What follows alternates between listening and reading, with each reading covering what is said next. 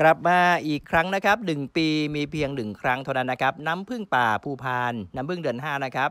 นำมาทำน้ำพึ่งมะนาวเหมาะมากนะครับ คุณประโยชน์ของน้ำพึ่งเดือน 5 ปรับสมดุลร่างกาย มีแร่ธาตุต่างๆ เช่นฟอสฟอรัส แคลเซียม เกลือแร่กรดอะมิโนจำเป็นนะครับ รวมถึงสารแอนตี้ออกซิแดนต์และวิตามิน B C แร่ธาตุ ซ่อมแซมส่วนสึกหรอบำรุงเลือดนะครับ ชะลอความเสื่อมของเซลล์ และเป็นยายุวัฒนะทำให้ร่างกายสมบูรณ์ แข็งแรง อายุยืนยาวนะครับ โปรโมชั่นพิเศษนะครับ ซื้อน้ำผึ้งป่าภูพาน 700มิลลิลิตร 3 ขวดนะครับ เพียงพันบาทเท่านั้นนะครับ ราคานี้ยังไม่รวมค่าจัดส่ง แถมฟรีนะครับ organic wolffia freeze-dried superfood high plant-based protein นะครับราคา 150 บาทนะครับผำสาหร่ายน้ำจืดขนาดจิ๋วที่ถูกจัดให้เป็น superfood ระดับโลก เพราะเลี้ยงในฟาร์มปิดนะครับสะอาดปลอดภัย มาตรฐานออร์แกนิกนำมาเข้ากระบวนการ freeze-dried เพื่อควบคุมคุณค่าอาหารนะครับและให้รสชาติเหมือนเดิม สามารถนำมาประกอบอาหารเมนูสุขภาพ ทั้งเครื่องดื่ม อาหารคาวอาหารหวานทานง่าย รสชาติอร่อย ไม่เหม็นเขียว โปรตีนสูง โรยหน้าสลัด โจ๊ก ซูชิ แซนด์วิช coleslaw energy bar เบเกอรี่ พิซซ่า แกงผำไข่เจียว ยำไข่ผำนะครับ หรือน้ำปั่นสุขภาพ สนใจนะครับ สั่งสินค้าได้ที่เบอร์โทรหรือ add ไลน์ 0766คุณหนึ่งนะครับโปรดระบุมาจากช่องอาจารย์เสก 5.0 จะได้ราคาโปรโมชั่น พิเศษนะครับ ให้แจ้งชื่อที่อยู่เบอร์โทรติดต่อผู้รับและทักไลน์เพื่อแจ้งยืนยันออเดอร์ด้วยนะครับ ต้องขอขอบคุณนะครับ ทุกการสนับสนุนจากทุกท่านนะครับ มาณที่นี้ ถ้าหากสัมผัสที่ 6 ของผมนะครับ ไม่ผิดพลาดนะครับนะมาตีความนะสัมผัสที่ 6 มันแปลว่าอะไรนะครับ ธรรมดาคนเราเนี่ยมันจะมีห้าสัมผัสใช่ไหมตา หู จมูก ลิ้นแล้วก็กายนะก็เรียกว่าสัมผัสทั้ง5นะครับแต่ว่าคำว่านะสัมผัสที่ 6 ของผมหมายถึงว่าใจนะครับ ถ้าใจผมนะครับเออสัมผัสนะเพราะฉะนั้นใจสัมผัสมันสัมผัสได้ 2 แบบนะสัมผัสจากความสงบก่อนนะพอความสงบแล้วก็มองออกไปนะครับว่ามันเออประมวลสิ่งต่างๆที่เกิดขึ้นอย่างไรนะครับ แล้วก็ประมวลด้วยปัญญา นะปัญญาก็คือความคิดวิเคราะห์บูรณาการที่ผมเล่าให้ฟังเนี่ยแหละครับ เมื่อมองไล่เรียงจากเหตุสู่ผลเหตุปัจจัยต่างๆนะครับ ที่เข้ามาร่วมกันเนี่ยนะครับ ดังนั้นนะครับนะเมื่อชี้แจงให้ฟังถึงสัมผัสที่6นะจะได้เข้าใจตรงกัน ก็คือการใช้สมาธิและปัญญานั่นเองนะก็คือเรื่องของใจเราเนี่ยนะครับสัมผัสที่ 6 หาสัมผัสที่ 6 ของผมเนี่ยไม่ผิดพลาดนะครับนะก็ให้เตรียมความพร้อมศึกใหญ่ นะครับที่กำลังใกล้เข้ามานั่นเองนะถามว่าทำไมครับก็ลองติดตามข้อมูลข่าวสารนะการต่อสู้นะในจุดต่างๆ โดยเฉพาะนะเรื่องของสงครามในยูเครนนะครับยังไม่ยุติลงนะครับก็ยังมีการเติมอาวุธนะสนับสนุนอาวุธกรต่างๆงบประมาณทางการอาหารเข้ามาเรื่อยๆอยู่นะประเด็นที่ 1 ประเด็นที่ 2 ก็คือการซ้อมรบ นะครับ ซึ่งเกิดขึ้นหลายจุดทั่วโลก หลายประเทศทั่วโลกนะครับ อย่างบนคาบสมุทรเกาหลีนี่ก็ซ้อมรบอย่างต่อเนื่องนะการซ้อมยิงขีปนาวุธนะครับ ทั้งพิสัยใกล้พิสัยไกลนะครับอย่างต่อเนื่อง ทางภาคฝั่งของเกาหลีเหนือ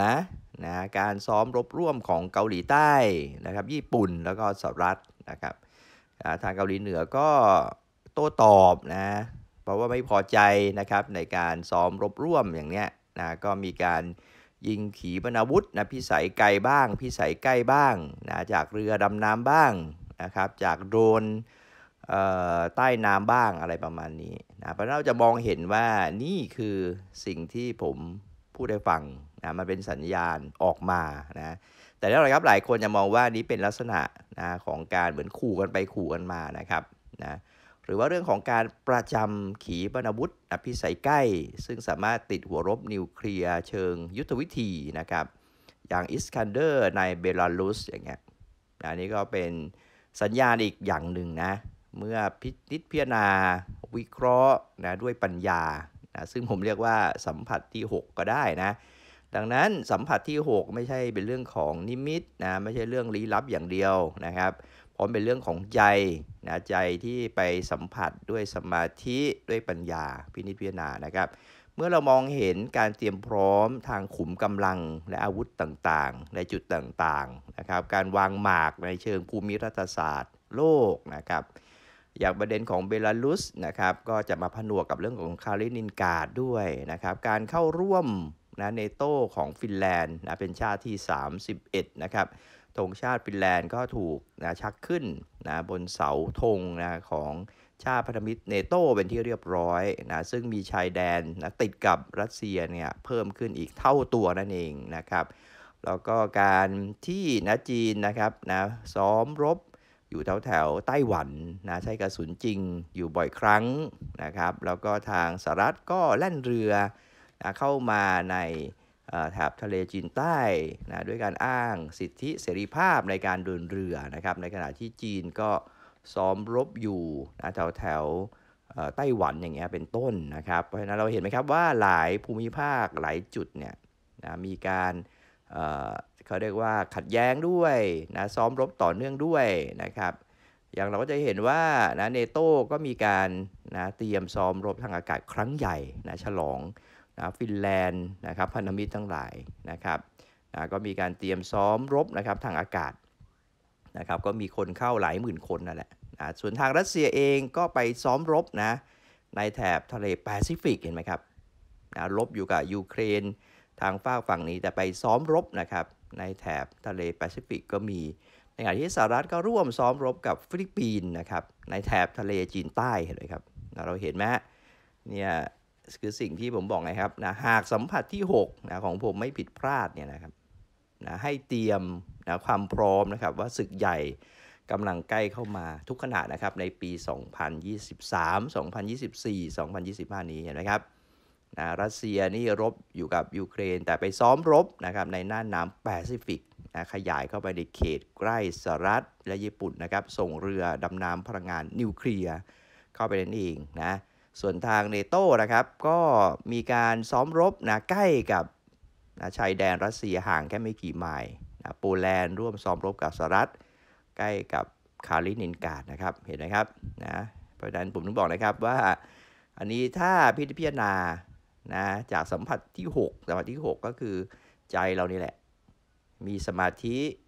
มีความสงบ มีปัญญา วิเคราะห์เหตุปัจจัยต่างๆ ความพร้อมต่างๆ ก็ต้องบอกว่ามีโอกาสมีศักยภาพนะครับ ที่จะเกิดศึกสงครามใหญ่ได้ นับจากนี้เป็นต้นไป และในอีก 2-3 ปีข้างหน้านะครับ ฟังพิจารณาก่อนแล้วค่อยเชื่อเจอกันใหม่คลิปหน้า สวัสดีครับ